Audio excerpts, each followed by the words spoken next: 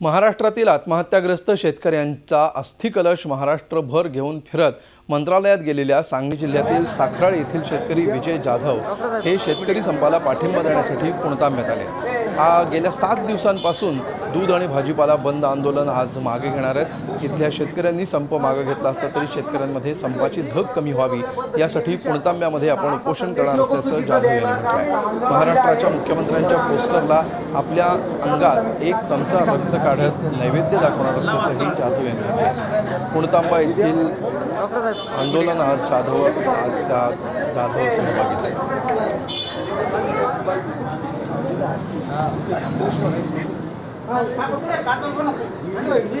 राज्यभर प्रवास करणाऱ्या जाधवांनी आज पुणतांबा गाठलेला आहे आणि तिथे ते आज मौन आंदोलनासाठी बसलेले आज आम्ही मौन मौन धरणार आहोत सर्वजण. आणि हे मौन धरून सरकारचा निषेध व्यक्त करत आहोत की सरकारने या सात दिवसामध्ये सरकार शेतकऱ्यांना दुर्लक्षित केलं आहे शेतकऱ्यांच्या मागण्यांकडे कानडोळा केला.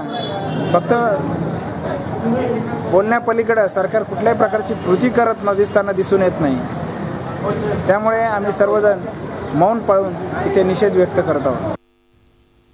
आणि याविषयी आपण अधिक माहिती घेऊया. आमचे प्रतिनिधी प्रशांत शर्मा सध्या आपल्यासोबत आहेत.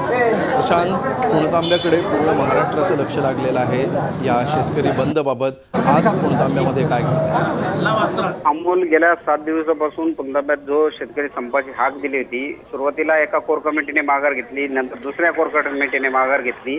त्यानंतर पहिल्या कोर कमिटीचे काही सदस्य आणि काही शेतकरी यांनी पुलतांब्याच्या आंदोलनाची दग कायम ठेवलेली आहे. गेल्या सात दिवसापासून वेगवेगळ्या प्रकारचं या ठिकाणी आंदोलन सुरू आहे.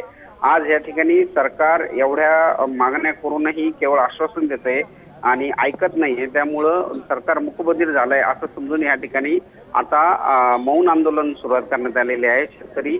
आणि एकंदरीतच सात दिवसात महाराष्ट्रातील मोठ्या प्रमाणात शेतकऱ्यांचं जे दूध आणि भाज्यापुलं म- भाजी भाजीपाला न पाठवल्यामुळे नुकसान झालंय.